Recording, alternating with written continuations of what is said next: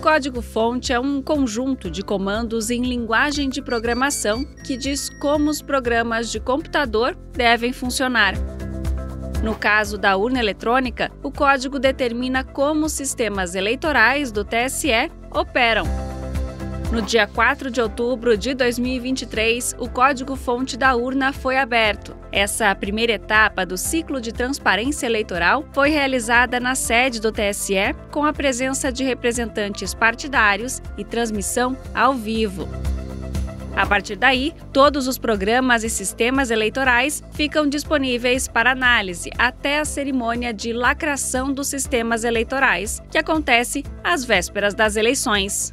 O código-fonte fica aberto em uma sala localizada no subsolo do TSE e as instituições interessadas podem propor melhorias e solicitar esclarecimentos à equipe técnica do tribunal. Uma resolução de 2021 define que podem acompanhar as fases de auditoria partidos políticos, Ordem dos Advogados do Brasil, Ministério Público, Congresso Nacional, Controladoria Geral da União, Polícia Federal, Sociedade Brasileira de Computação, Tribunal de Contas da União, integrantes do Sistema S e departamentos de tecnologia da informação de universidades.